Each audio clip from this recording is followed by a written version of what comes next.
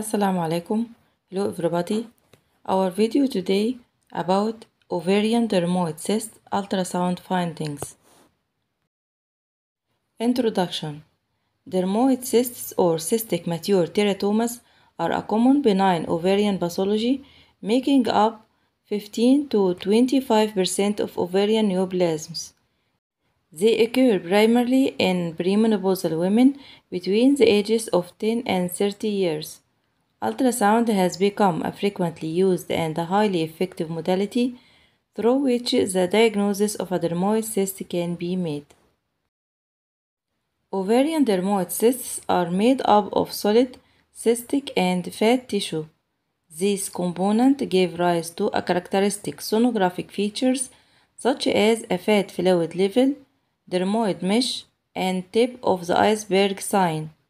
The presence of two or more of, this, of these typical features can be used to confidently diagnose a dermoid cyst on ultrasound.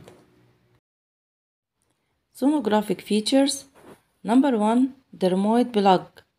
This is the most common sonographic feature of a dermoid cyst. It appears as an echogenic mass within the cyst made up of hair, teeth, or fat. Number 2 Dermoid mesh. As the name implies, the appearance on ultrasound is of multiple small hyperechoic lines and dots within the cyst, forming a mesh-like picture.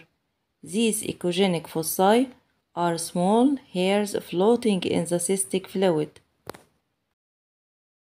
Number 3. Tip of the iceberg sign. The appearance of a hyperechoic area, the base of which can't be visualized.